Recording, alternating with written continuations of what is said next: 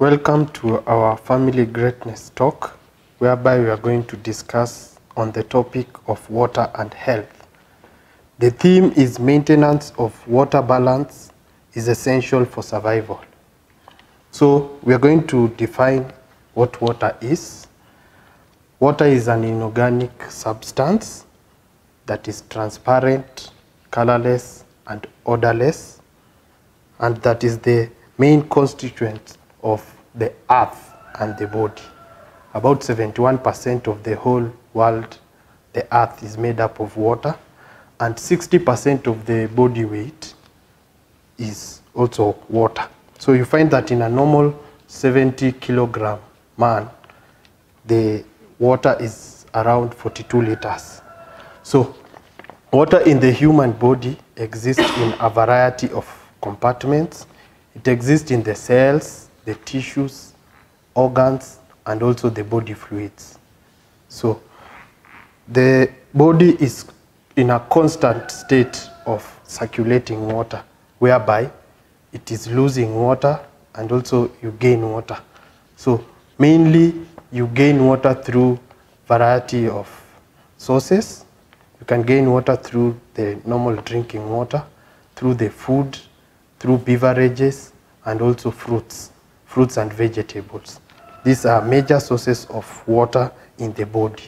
The body also in the constant circulation of water, it is able to lose water. It loses through a variety of organs also. We have the skin. The skin, the body loses water mainly through sweat, and this forms quite a high percentage of the water loss in the body. It loses also through the kidney, through urine.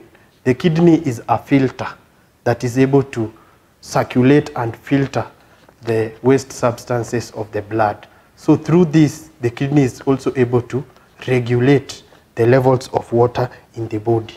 You also lose water through your lungs by, in terms of air. During respiration, you are able to expire air that is moist, that contains a percentage of water that is in your circulation, and it's able to be exhaled out of the environment. So, why do we need water? And why do you need a water balance? Water balance in the body is essential for good health, in that when the body is deprived of adequate amounts of water, it is able to undergo dehydration. And dehydration has got a variety of implications in our body that renders us unhealthy. Therefore, how do we know that we are taking the right amounts of water? Normally, we should take about two liters of water within a day. That is 24 hours. And the measure of two liters a day is by eight ounces of glass. Eight ounce of uh, an ounce of a glass is whereby you find that a glass that is 250 ml that can carry 250 ml of liquid. So eight of them will give you two liters. That is a total of 2000 ml. Therefore, there are various benefits of taking enough water a day that are beneficial to your body. First of all, water helps in the breakdown of substances in the body. Your body is constantly breaking down substances that involve the food that you have taken in, the chemicals that are required in the running of the process of the body. Therefore, water is a major chemical component and also it's a major solvent that facilitates these reactions in the body. Water also helps in digestion. This is majorly by moisturizing the food and also increasing the contraction and the relaxation of the digestive system, whereby it helps prevent constipation. Constipation is whereby there is blockage within your system, whereby you get inability to pass stool. Therefore, water aids in this process by enabling that the food is soft, moisture, and is in a continuous motion within the digestive Also, water helps in weight reduction. Studies have proven that proper intake of water fastens the metabolic processes of the body.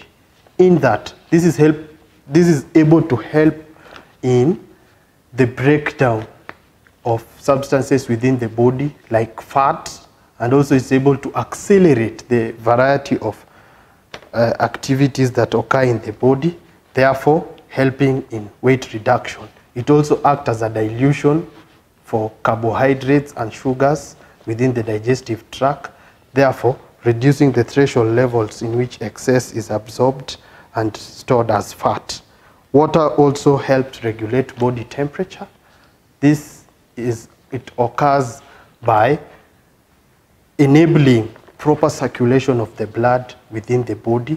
Therefore, more blood is able to come to the surface of your body and it's able to regulate your body temperature to the normal levels. Also, the benefits of water to your kidney is that it is able to facilitate the filtrative process of the kidney, whereby the kidney, as it cleans your blood, it is able to also clear out uh, excess water in the body, therefore facilitating its filtrative process and also preventing conditions such as kidney stones.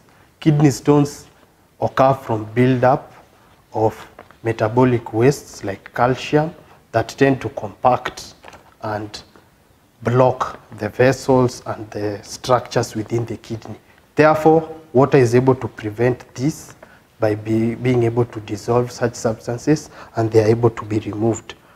Water also helps in the joints. They are usually the synovial fluid in the joints that contain mostly water. This acts as a lubricant and it helps in the movement of the various parts of the body. Joints are parts that attach different bones of your body and they are able to facilitate mobility, movement. So water is good for the joints. Also, above all, water helps in reducing the incidence of blood pressure this is when the, you consume enough water, then your blood reduces its ability to be thick. Therefore, it is able to circulate freely within your vessels as compared to when it is thick, it will be difficult for it to circulate through the body. So with all that said and done, I'd request if there are any questions uh, that you might want answers I might address. Any questions Any questions or comments? or comments? I think we wish to thank you so much for the presentation, Rad, Dr. God bless you. Are we uh, enlightened? Are we benefited? Yes. Thank you so much. God bless you. Thank you so much.